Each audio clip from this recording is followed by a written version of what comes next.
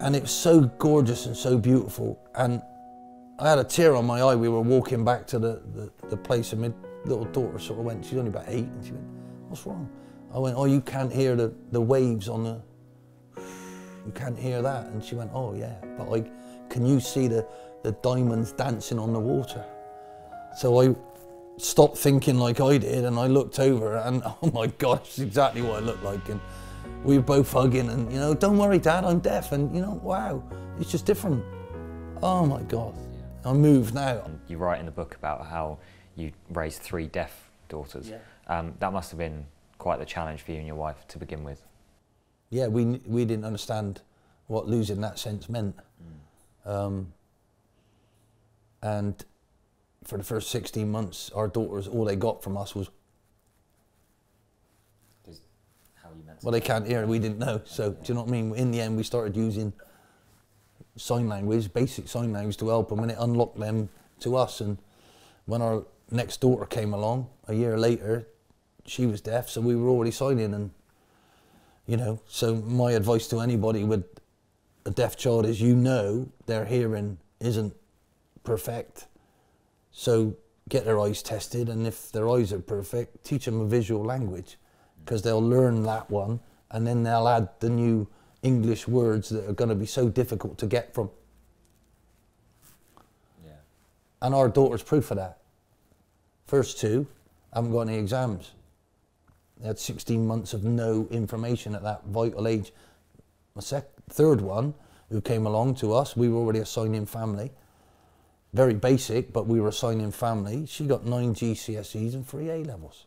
And her sisters are not as clever as her, not their fault, because They missed out. they missed out on.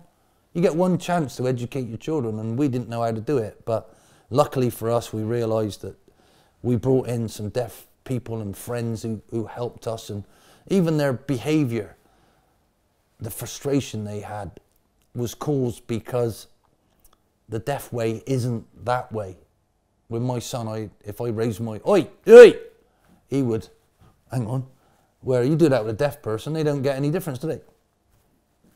what you have to do with them is like ignore them and like you're not having it. And oh, oh my god these people taught us how to do it. And you know we i have benefited so much from seeing that marvel of of how every other sense that you've got raises and and it's almost a gift that they've got that we haven't because oh my god it's making me all emotional now.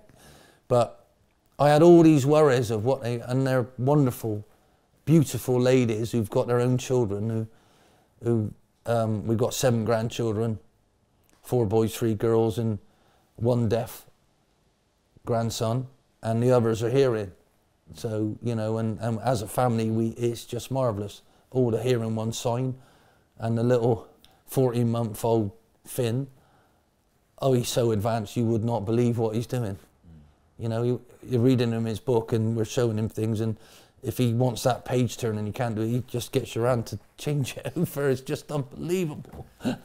you know, and then he'll grab your hand and take you to the the, the cupboard where all the crisps are, and and he, he, so you know what he wants. It's amazing. He's only 14 months. He's been doing it since he's 10 months. Honestly, it's uh, honestly, please, it's so. I have lived through this, and my wife handled it so brilliantly that that there's myths out there. Do you know what I mean? And oh my God, deaf children. Some of them have, have the.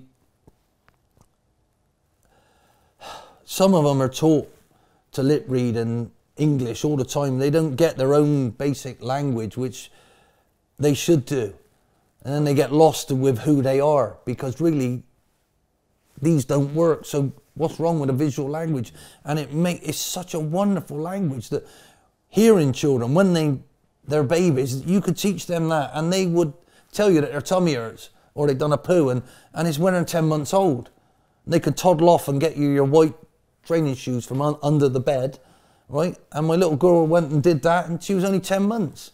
And I had loads of different trainers under there. It wasn't a coincidence. It was amazing. So we have all sorts of secrets that I hope people understand that through my life so far, everything I'm spilling out is is some secrets that I know that I wish I knew before I started everything that would have been so much easier. And I had all these worries about my beautiful daughters and would they do this and would they do that and I got one to tell you that's not in there.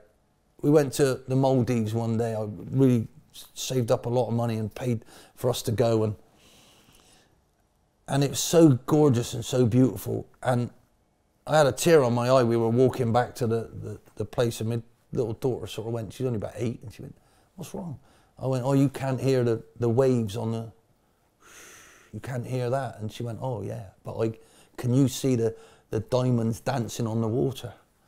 So I stopped thinking like I did and I looked over and oh my gosh, exactly what I looked like. And we were both hugging and, you know, don't worry, Dad, I'm deaf. And, you know, wow, it's just different. Oh my God.